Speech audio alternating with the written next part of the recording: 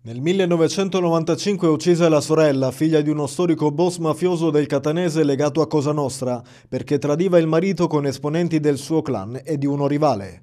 La Corte d'Assise di Catania ha condannato all'ergastolo Alessandro Alleruzzo, figlio dello storico capomafia deceduto di Paternò Giuseppe, per l'omicidio della sorella Annunziatina, assassinata con due colpi di pistola il 30 maggio del 1995.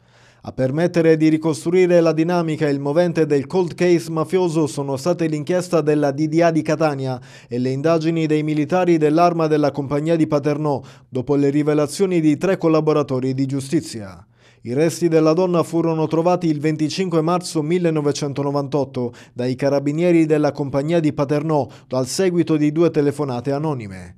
Per l'omicidio della sorella Alessandro Alleruzzo, 48 anni, era stato raggiunto da un'ordinanza di custodia cautelare eseguita dai militari dell'arma il 4 giugno 2021. Ad alcuni compagni di prigione, quando era detenuto, aveva confidato di avere sparato due colpi di pistola in testa a Annunziatina e di averne poi trascinato il corpo e di averlo buttato in un pozzo per riscattare l'onore della famiglia.